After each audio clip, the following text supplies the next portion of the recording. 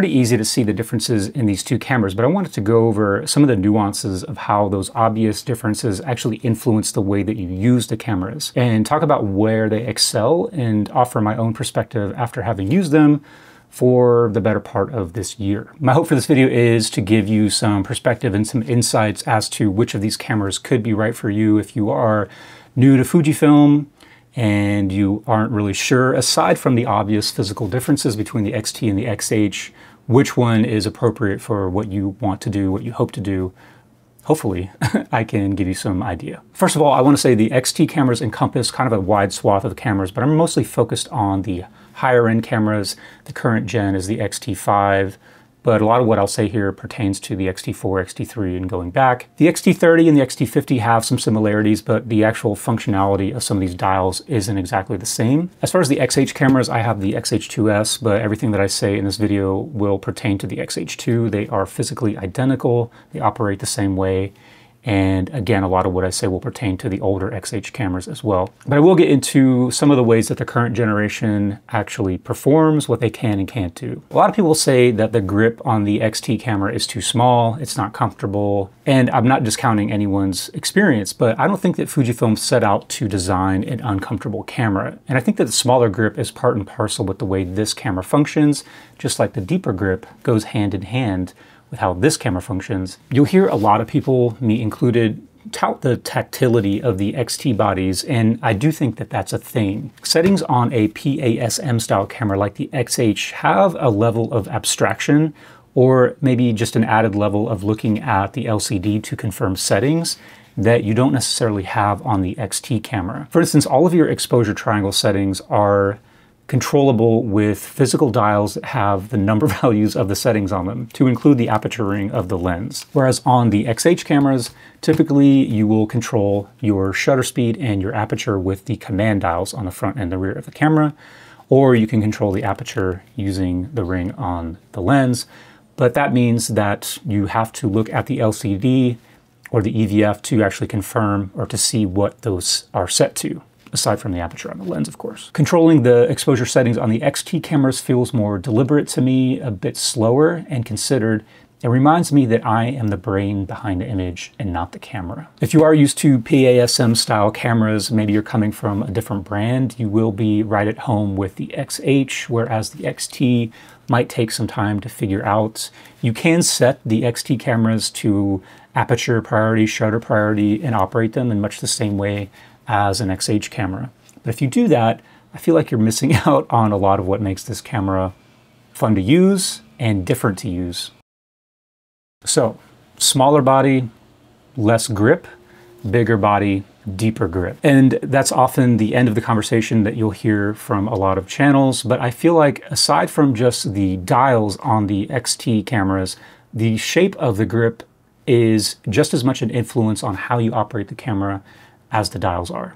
So let me talk about what I mean. The narrow grip allows you to adjust your grip and to change the position of your hands and your fingers more actively so that you can actually manipulate the controls on the camera than the deeper grip on an XH camera does, which essentially locks your hand into position and you operate the command dials with your index finger and your thumb, the shutter obviously with your index finger, and then the focus controls fall to your thumb. They very naturally fit to where your thumb is, both the joystick and the AF, AF on button. The narrowness of the XT camera also means, for me at least, that you support the weight of the camera and the lens with your left hand and your right hand is much more sort of loosely gripping the camera. The deeper size of the XH means that you are supporting the weight of the camera with your left hand, but less the lens than the camera. And I would say it's more of a 50-50 balance between your left and right hand on the XH cameras,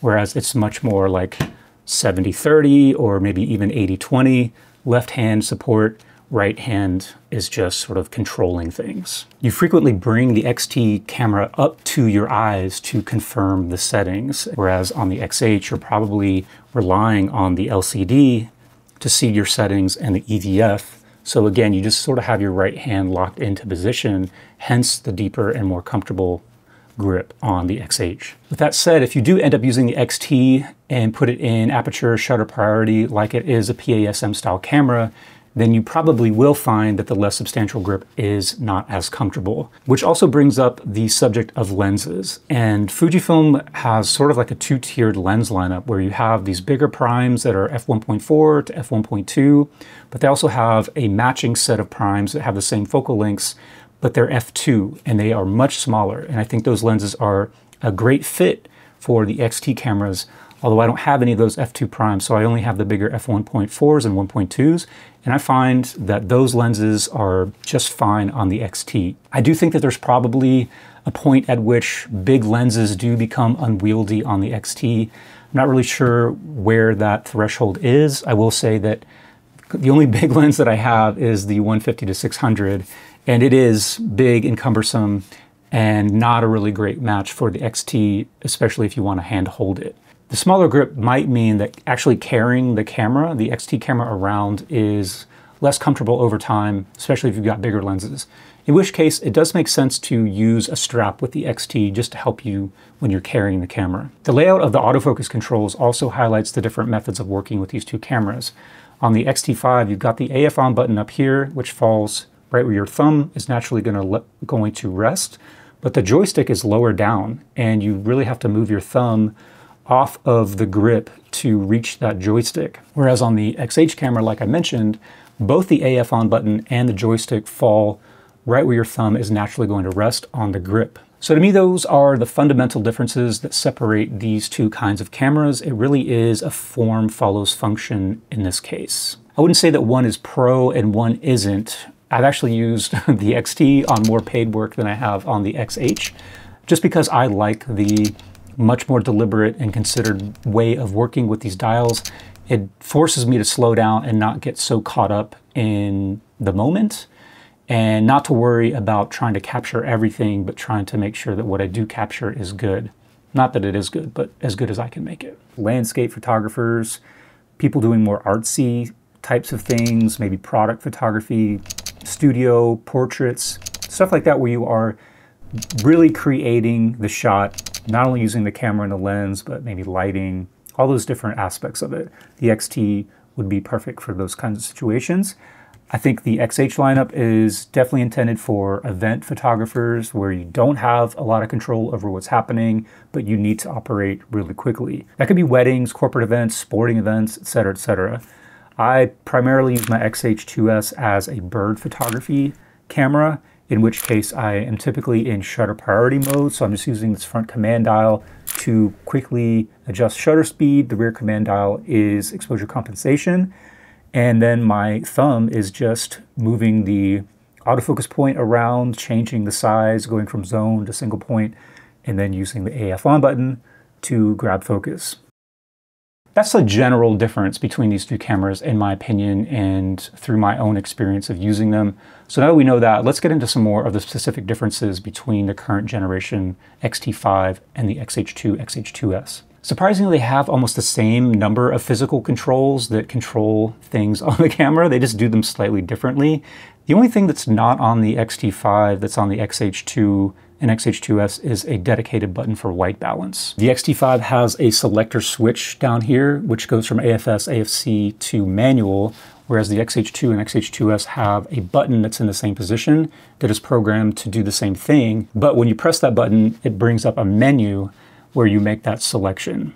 So again, it's just sort of like this extra layer of abstraction or extra UI layer between you and the settings on the XH cameras versus completely tactile and sort of mechanical on the XT. The front and rear command dials on the XT also double as buttons. The rear one is completely programmable or customizable, just like any other button on the camera. The front one is much more limited in what it's and what it can do, and actually can't really figure out how to make use of that front command dial button. I think the older versions of the XH cameras had those pressable command dials, but Fujifilm removed them from the XH2 and the XH2S, and I believe they said the reason for that is to make them more weather sealed, which, speaking of weather sealing, both are very weather sealed cameras, but the XH2 and XH2S have more weather sealing points are more thoroughly weather sealed than the X-T5 is. Fujifilm really wanted to play up the fact that the X-T5 is meant for photography. So they ditched the flippy screen that they put on the X-T4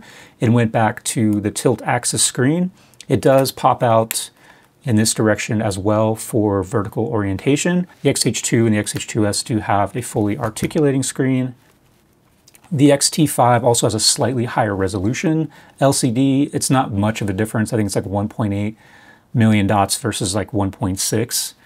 The EVF on the XH2 and XH2S is really high quality. It's almost 6 million dots versus around 3.5, 3.6, something like that on the XT5. And I completely forgot to mention the top LCD or the sub LCD on the XH cameras. And maybe I forgot to talk about it because it is a bit of an afterthought, I think, for me and from what I gather, a lot of people who use these cameras which is unfortunate because it's taking up a lot of real estate on the top of the camera. Perhaps a, an exposure compensation dial or something could make better use of this space. So I've been trying to incorporate the top LCD more actively and really just by sort of moving a lot of the info that is cluttering up the LCD and the EVF, you can sort of move that stuff over to the top LCD.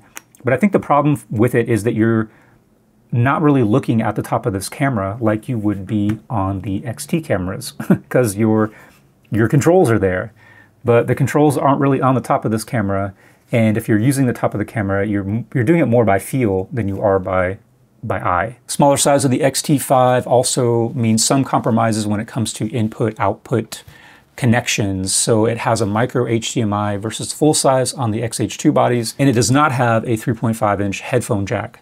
So if you want to monitor audio with the X-T5, you do need a dongle that goes from the USB-C to 3.5 inch. The X-T5 has dual SD card slots, so UHS-2 SD cards. You can use them as redundant or backup or sequential, however you want to do them. They're exactly the same. Doesn't really matter which card slot you have in use if you don't have both whereas the XH2 and XH2S have an SD card slot and a CF Express Type B card slot. And that brings us to the other difference between the XH2 and the XT5. They are essentially the same cameras when it comes to photography. They have all of the same capabilities, they have the same sensor and the same processor. Really the only difference between them is a result of that faster card on the XH2, which has a, a deeper buffer faster buffer basically means that you can take more photos before the buffer starts to slow down and the camera needs to write all those photos. So even though the X-T5 and the XH2 are essentially identical when it comes to photography, for video there are some substantial differences.